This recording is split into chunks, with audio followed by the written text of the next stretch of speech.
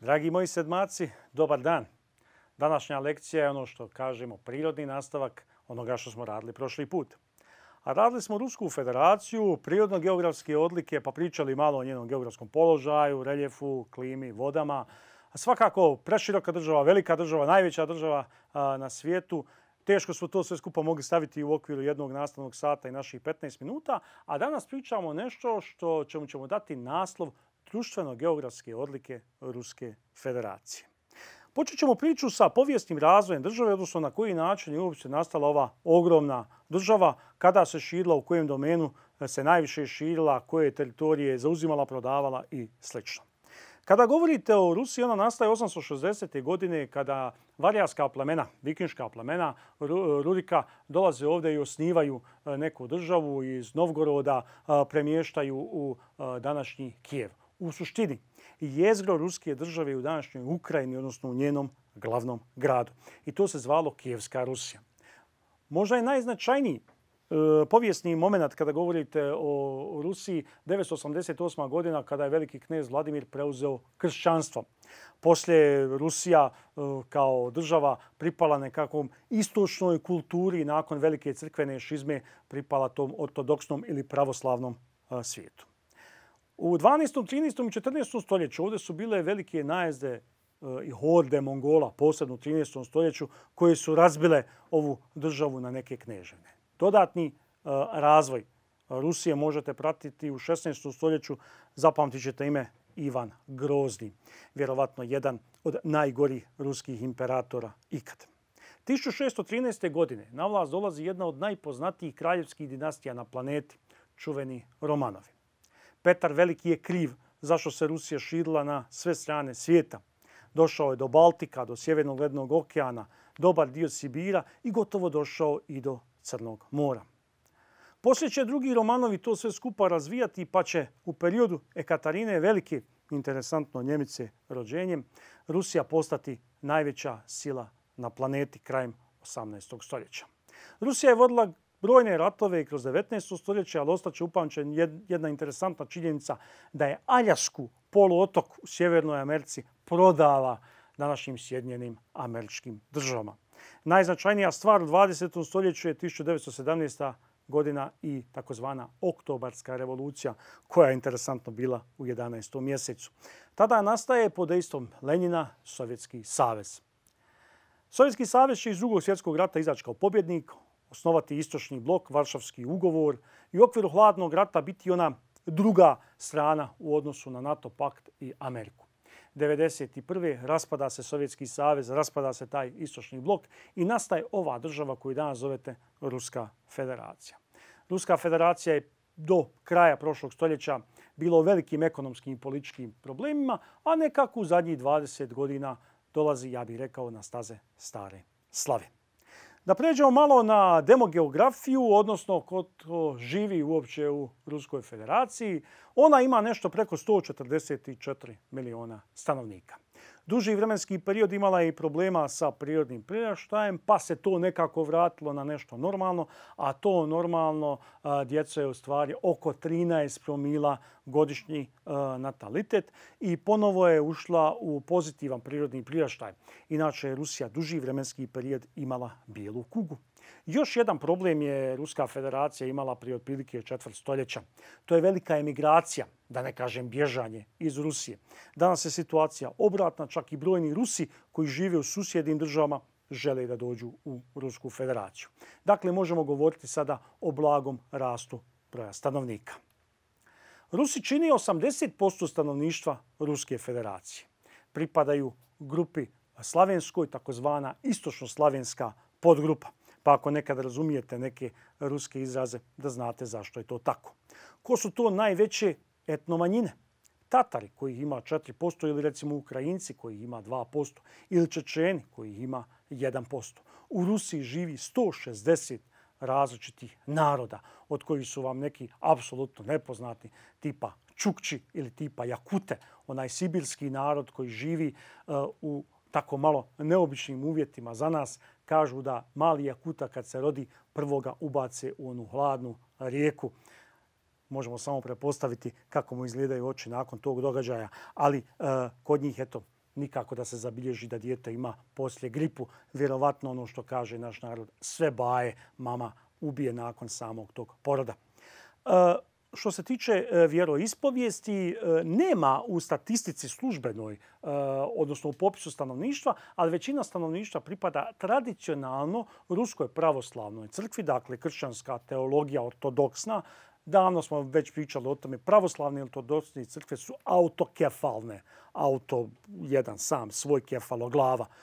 I ruski poglavar, odnosno poglavar te crkve zove se patrijarh. Eh, osim toga, velika je i islamska zajednica. Neki narodi, eh, kao što su Čečeni, Tatari, Dagezi, Inguši, eh, pripadaju islamskoj teologiji. Preko 25 miliona muslimana živi recimo u Ruskoj federaciji i povodom toga prije dvije godine je napravljena ona velika džamija u Moskvi. Zanimljivo je da Ruskinje mnogo duže žive od Rusa. Prosječno čak 11 godina duže. To je jedna od najvećih razlika kada govorite bilo gdje u svijetu. Dalo bi se diskutirati zbog čega je to tako. Inače, razlika u Bosni i Hercegovini između očekivanog trajanja života e, žena i muškaraca je otprilike oko tri godine. Rusi imaju stupanj e, obrazovanosti, pismenosti preko 99%, a otprilike 12% e, Rusa je završilo visoke škole. Ono što je još e, zanimljivo istaći da je rusko obrazovanje besplatno. Izuzev par nekih univerziteta i fakulteta, čak i visoka škola je besplatna. Naravno, osnovna i srednja se podrazumiva. Inače, preko 80% Rusa je završilo neki aspekt srednjoškolskog obrazovanja. Eh, kada govorite o jeziku, službeni jezik je naravno eh, ruski jezik, no međutim u nekim eh, regijama, čućete poslije iz političkog ustroja, koriste se, konzumiraju se jezici naravno tamošnjih naroda koji tamo živi, koji čak nemaju nikakvu sličnost jeli, sa ruskim jezikom. Službeno pismo je naravno Čirilca. Sa kada govorite o urbanizaciji, stupanj urbanizacije je 72%. Još uvijek u Rusiji, dakle, 28% ljudi živi na selima. Velika je razlika urbanizacije evropskog i azijskog dijela, ali u jednom aspektu urbanizacije treba pohvaliti uh, Rusiju. Naime, ovaj, u ovom evropskom dijelu Rusije nalazi se dva najveća grada nalazi se 10 milijonska Moskva, jedan od najvećih gradova Europe, dakle govorimo o evropskom dijelu Rusije, i nekadašnja prestolnica, lučki centar Sankt Petersburg, u kojem je najčuveni muzej Ermitage gdje se čuva povelja Kulina Bana. Sa druge strane, on ima oko 4,5 miliona stanovnika. Sa druge strane, imate čak 10 gradova u Rusiji koji imaju između milion i milion i 300 tisuća stanovnika. I to je nešto što možemo istaći kao visoki kvalitet urbanizacije. Dakle, da imate te neke uh, regionalne centre. Evo vi pratite recimo u Evropi, možete pročitati jeli, Nižnji Novgorod, uh, recimo Kazanj, recimo uh, Samara, čuvena Lada, Samara, jele, Lada, dolazi iz tog prostora. Recimo Orenburg. Inače, Orenburg je njemački narod, njemački naziv za planinu Ural. Ovdje su nekada živjeli povolški njemci pa su ostali ti e, izrazi. Ili recimo veliki rudarski centar Magnitogorsk. Zatim je Katarinenburg. E, primjećujete ove nastavke njemačke burg, germanske nastavke, jel? E, recimo Čeljabinski i dalje možete pratiti čak i neke milionske gradove kao što je Novosibirsk, e, koji se nalazi u e, sibirskom, jel, azijskom dijelu. Naravno, mnogo je veća urbanizacija, još jednom ponoviti, u ovom zapadnom, odnosno u evropskom dijelu Rusije. Na kraju krajeva i razumljivo jer preko 100 miliona ljudi živi u evropskom, mnogo manjem jeli, e, dijelu e, Rusije. Kada govorite o privredi po glavi stanovnika, Rusi danas imaju 24.000 dolara. E, dolazi do naglog razvoja, recimo zadnje, samo u zadnjih šest godina je to naraslo sa 17.000 dolara.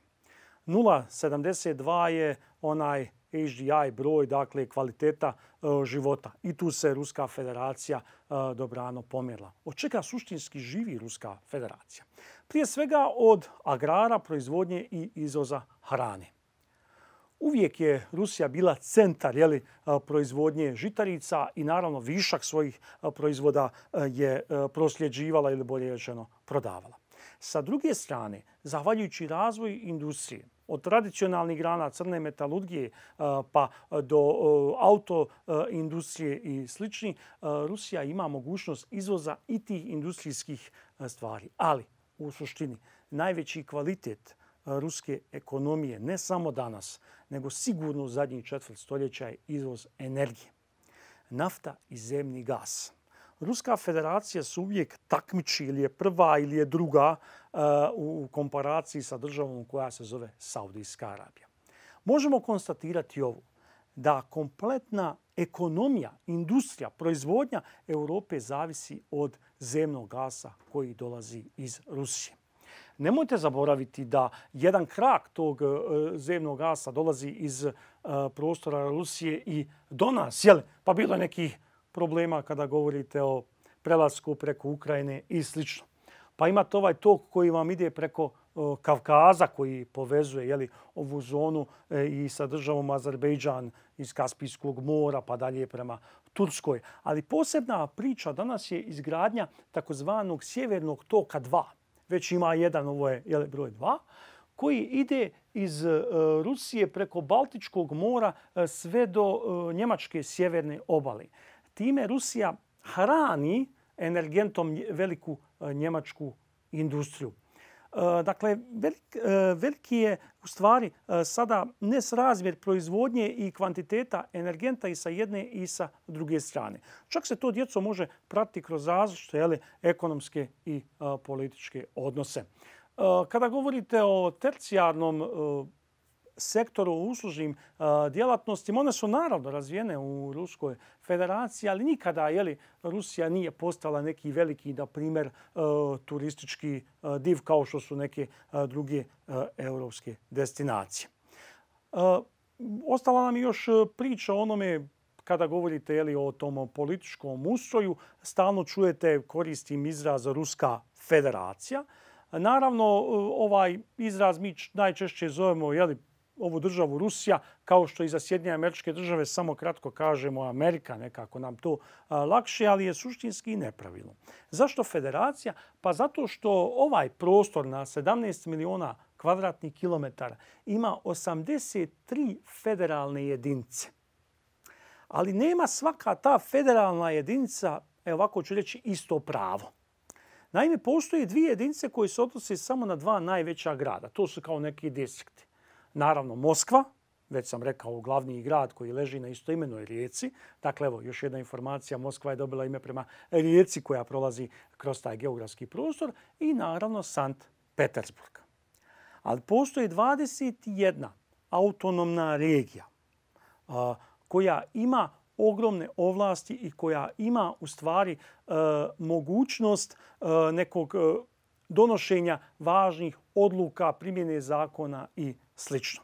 To je ostalo iz nekadašnjeg Sovjetskog saveza.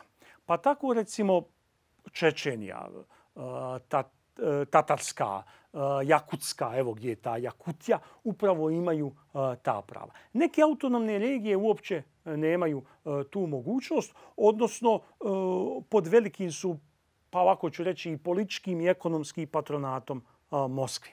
Sa druge strane, od 2000. godine došlo je do promjena u toj, polič, u toj političkoj misli, pa je čitava Ruska federacija podijeljena na osam velikih regija, eh, gdje te regionalne hajde reću šefove, da ne mogu reći predsjednike, jeli, eh, postavlja upravo eh, službena Moskva. Inače, Ruska federacija je polupredsjednička republika, E, šta znači djeco polupredsjednička, znači veliko je djelovanje i predsjednika i premijera, odnosno šefa vlade. E, sve zakone se donose u okviru njihove skupštine koja se zove Ruska duma.